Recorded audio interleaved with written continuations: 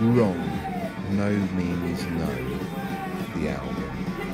It's quite an interesting album, this. No means no, quite an interesting band.